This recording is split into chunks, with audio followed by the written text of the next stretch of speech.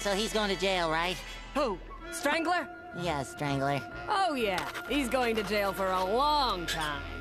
Hey, that looks like me!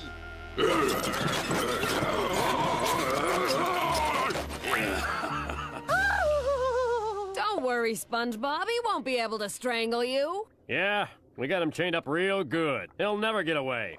Oops, not again. Yep, he got away.